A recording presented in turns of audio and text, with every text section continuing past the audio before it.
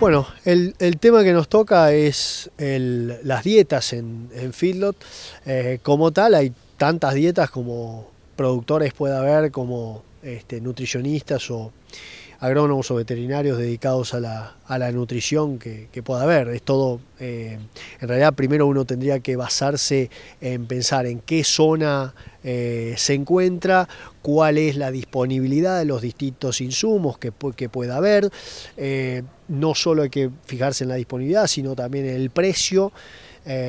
por unidad del nutriente limitante o el nutriente que esté concentrado en ese, en ese producto. Y también es muy importante para, el contexto que, se vive en Argentina o que habitualmente eh, vivimos en Argentina, de la eh, seguridad de la entrega. Eh, yendo a la, a la calidad de una dieta, digamos, qué es lo que precisamos en, eh, para una dieta de feedlot determinación, estamos hablando acá eh, esencialmente, bueno, primeramente nos tenemos que fijar en la energía, eh, la energía va a ser el punto limitante de, la ganancia de peso, la energía viene determinada por el nivel de grano que tenga la ración y dentro de eso ya uno puede empezar a conversar de los distintos granos. Básicamente el metro patrón para nosotros ha sido el maíz, pero no hay que olvidar que en distintas zonas y, de, de acuerdo a los precios relativos también se cuenta con cebada, con avena, con trigo, con sorgo que cada uno tiene características este, intrínsecas que los hacen, eh, si se quieren, diferentes. ¿no? Básicamente uno podría pensar que si el maíz eh, tiene un índice de 100,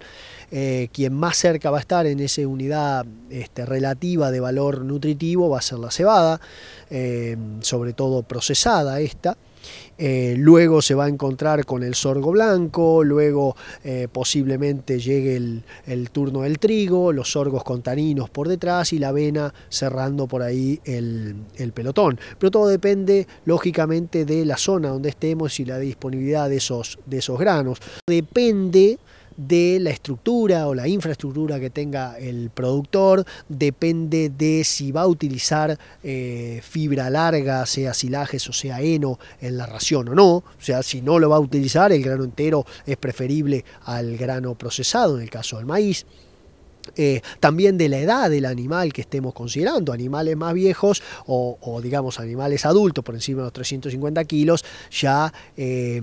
necesitarían, requerirían de un procesamiento del grano con respecto al grano entero, pero siempre afectado por la presencia o no de fibra larga en la ración. Entonces, sin ánimo de contribuir más más a la confusión sobre este, sobre este tema, yo creo que eh, depende mucho el criterio del profesional actuante y de la infraestructura con que cuenta el productor la decisión de si va a utilizar maíz entero o maíz partido.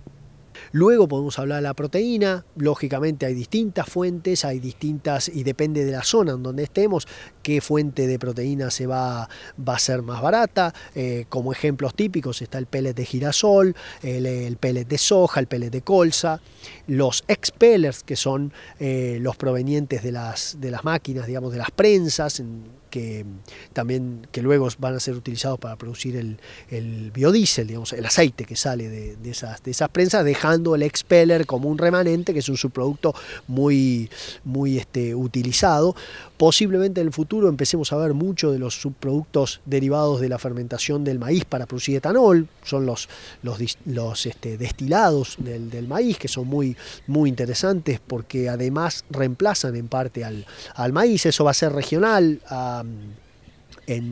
a priori, pero este, no, hay que este, perder de vista que pueden llegar a ser más que, regional, sobre todo si se logra secar con, este, en métodos eh, económicos. Eh,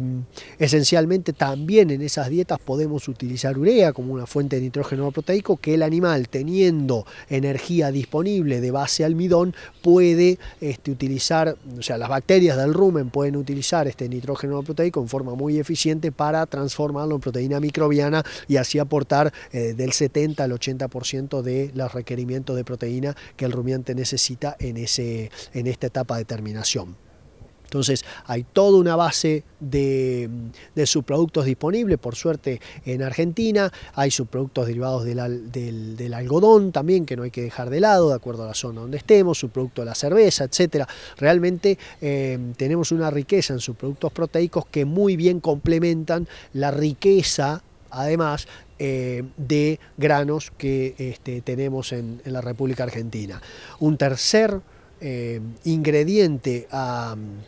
a considerar estos, en estas dietas es la premezcla o suplemento mineral vitamínico que incluye en la mayoría de los casos un aditivo llamado monensina, que es un antibiótico que permite no solo mejorar la eficiencia de conversión del alimento en este, ganancia de peso, sino que además funciona como un alterador del patrón de consumo, permitiendo que el animal vaya más veces al comedero, pero se sirva porciones más pequeñas cada vez que va, con lo cual disminuyen los riesgos de eh, padecer trastornos digestivos del caso de este, acidosis. Esencialmente de los minerales necesarios, el más importante a mi criterio es el calcio, que es un macromineral, es el más quizá barato de todo el resto de los minerales a, incluir, eh, pero que todos estos eh, subproductos, tanto proteicos como los granos, son en su gran mayoría deficientes en calcio y muy ricos en fósforo, con lo que podría haber un riesgo potencial de una, de una este, inversión en los niveles de calcio-fósforo que no tendrían un, efecto positivo en lo que es el engorde o serían limitantes para el engorde. La fibra, yo lo dejo siempre para último, este, como, como último, porque lógicamente eh, ya hablamos de la necesidad de fibra o no de acuerdo al procesamiento del grano. Acá las fuentes de fibra son dos, muy clásicas,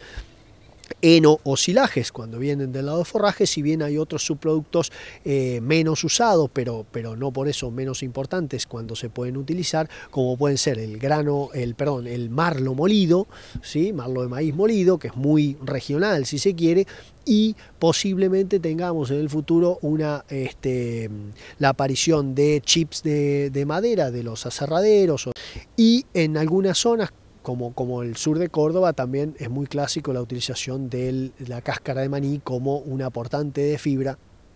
para las dietas de determinación. Todo esto depende justamente de la región donde estemos considerando, pero el uso básicamente de las fibras para permitir diluir la energía que viene por el lado del grano, permitir un efecto de rumia, digamos un efecto que de, para mejorar la motilidad ruminal y la salud eh, ruminal y por ende entonces tengamos menos riesgos de padecer trastornos digestivos durante la consecución del encierro global.